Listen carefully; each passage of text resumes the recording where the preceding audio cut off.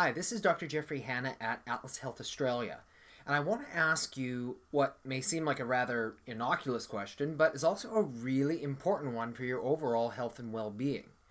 Have you ever been to see an upper cervical chiropractor?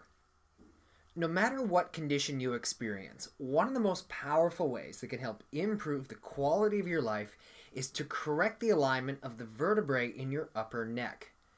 Now that you know how to identify if you have a neck problem, you probably want to know what can you do about it. You may have already been to see all the usual suspects GP, specialist, chiropractor, physiotherapist, osteopath, acupuncturist, massage therapist, and so forth and so forth. You may have had good success with some, none with others. If you're still seeking answers for your health condition or looking to maintain your health at the highest possible level, here is where the unique service we offer may be able to help you. It's called upper cervical care. If you've never heard of it before, I'm not surprised. Some people have even called it the best kept secret in healthcare.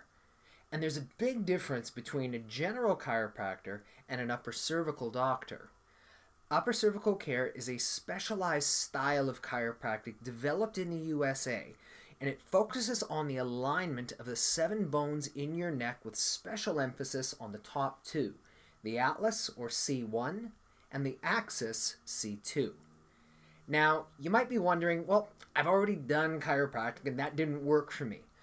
Let me emphasize again that upper cervical care is different. How it's different, I will explain that in a follow-up video. Dr. Jeffrey Hannah at Atlas Health. Take care of your neck, it's the key to your well-being.